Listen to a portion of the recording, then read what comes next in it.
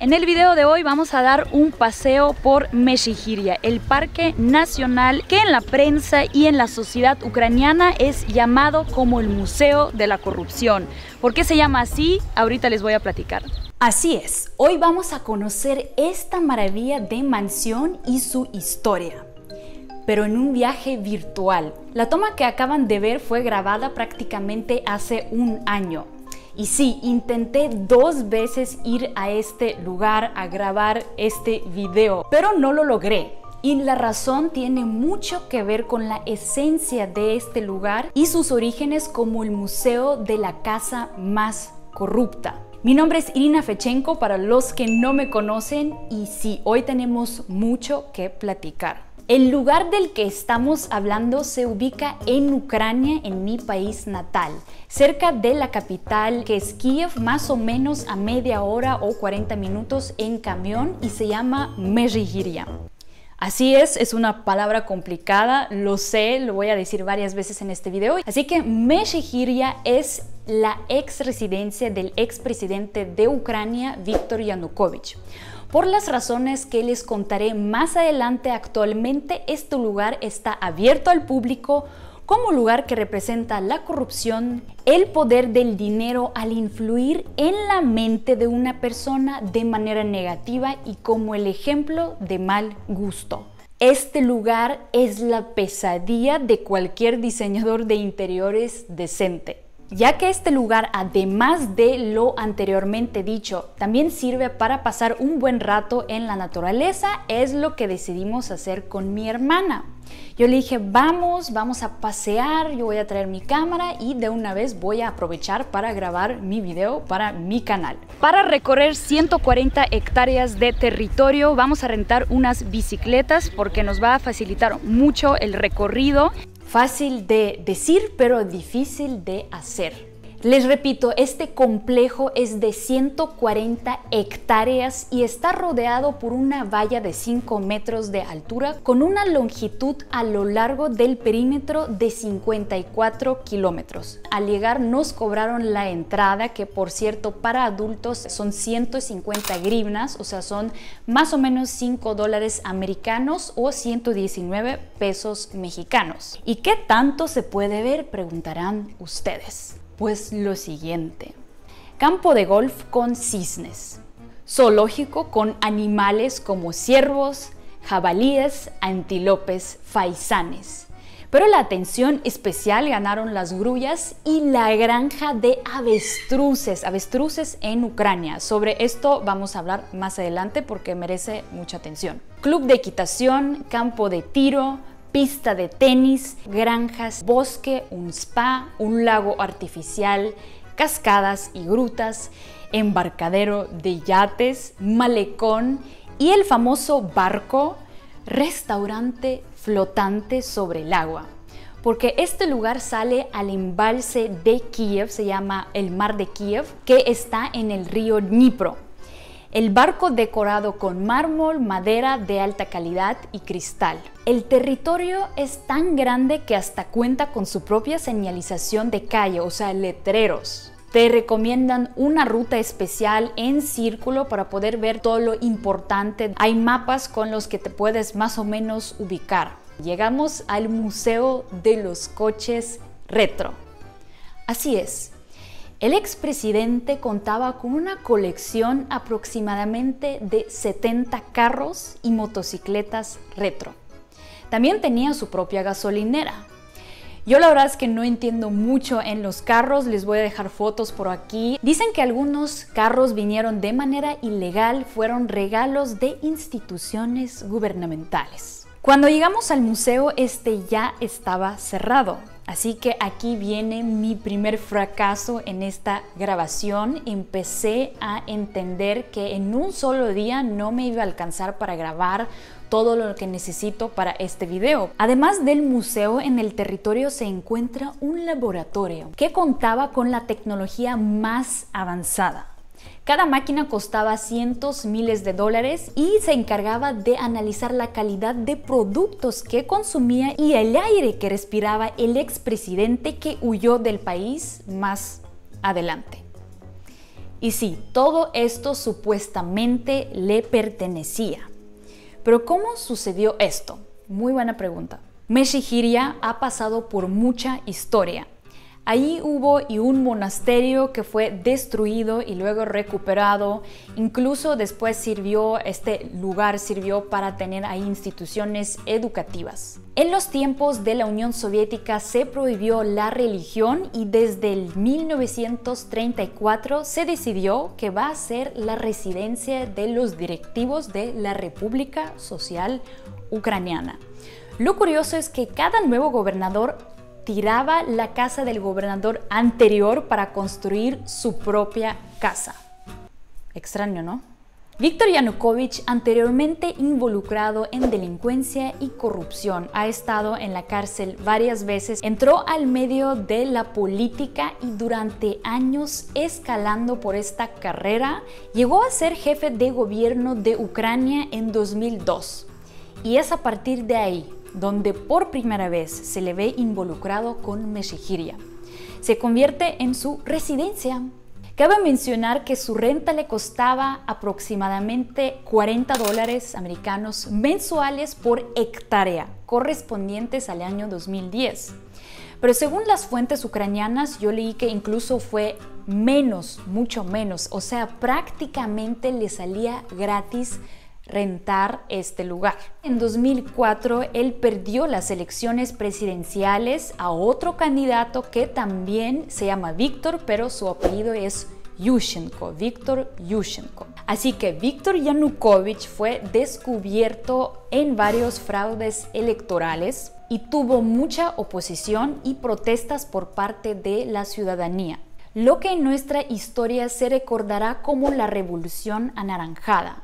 Yo en este tiempo tenía más o menos 14 años y me acuerdo muy bien la locura que estaba pasando en mi país, en mi ciudad. En 2010 Yanukovych por fin logra ser presidente de Ucrania y a partir de ahí la atención por parte de la ciudadanía y por parte de los periodistas hacia la mansión crece. Yanukovych siempre ha negado que la tierra le pertenecía, decía que solo tiene una casita ahí en un territorio pequeño de 1.7 hectáreas.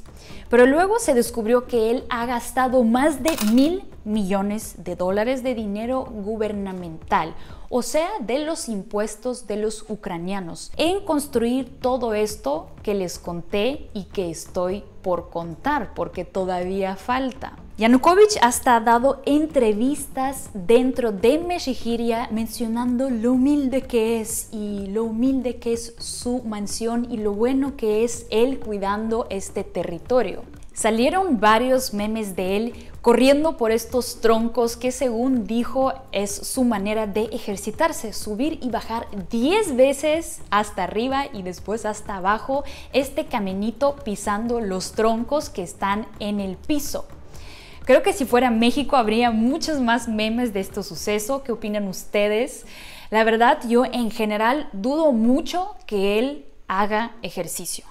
Como su casa, o sea, su hogar, él señaló un humilde edificio de tres pisos, pero realmente su lugar de vivienda va a ser otro edificio que es el protagonista de este video. Sé que es inevitable entrar en política en este tipo de videos, ni pienso dar mi opinión ya que quiero que cada persona, cada uno de ustedes se haga sus propias conclusiones políticas, pero para la historia veo importante contar los siguientes sucesos. La política de Yanukovych, en especial la exterior, fue en contra de los deseos de la mayoría de la población, lo que a final del 2013 y principios del 2014 resultó en las protestas pacíficas de los estudiantes y después de toda la ciudadanía y eventualmente creció en otra revolución llamada Yevro Maidán. Las fuerzas militares tratando de reprimir a la población mataron más de 60 personas en los enfrentamientos del 18 a 21 de febrero del 2014. Les recomiendo mucho el documental Winter on Fire, Ukrainians Fight for Freedom, que cuenta en detalle lo sucedido en estos días y lo que provocó que Yanukovych huyera del país, abandonando su puesto de presidente y su mansión. Estas imágenes demuestran cómo no solamente se marchó, o sea, huyó del país, pero también cómo durante cuatro días Yanukovych y sus ayudantes sacaban las cosas de valor que había dentro de esta famosa mansión. Eh, también la llaman Honka, sacaban cuadros, íconos, estatuas, joyas, armas, relojes. Solo para cuadros ocuparon dos camiones grandes. Al día siguiente, la residencia quedó abierta para la población. Decenas de personas fueron a este lujoso palacio y el parque de forma gratuita. No hubo vandalismo porque la gente sabía que todo esto le pertenecía a ellos ya que fue adquirido con sus impuestos. Pero sí, hubo robos más adelante y se desaparecieron varios objetos. Con sus propios ojos pudieron observar la casa de Yanukovych, la verdadera casa en la que él vivía y la que nunca enseñó a los periodistas y obviamente con mucha razón. Este palacio de cuatro pisos construido con materiales con valor de 9.5 millones de dólares Dicen que es el palacio más grande construido de madera y no cualquier madera, sino de las más caras del mundo ya que es una madera ecológica de Finlandia. Con la vista hacia el mar de Kiev, o sea, al embalse de Kiev, el palacio de 620 metros cuadrados cuenta con una sala de 200 metros cuadrados llamada la Sala del Caballero, con muchos cuartos, baños, spa privado y espacios decorados con materiales más caros, escalera del mármol italiano, un candelabro con cristales de Swarovski con un peso de 250 kilogramos y un valor de 1.5 millones de dólares. Siete niveles de purificación de aire, un elevador personal, una caja de música suiza con el costo de 460 mil dólares. Y sí amigos, la lista es muy larga. Hasta existían chismes acerca de un excusado de oro y un cacho de oro en forma de bolillo, o sea, en forma de pan. No encontraron ni el bolillo de oro ni tampoco el excusado, pero sí, sus baños eran muy costosos construidos de materiales españoles.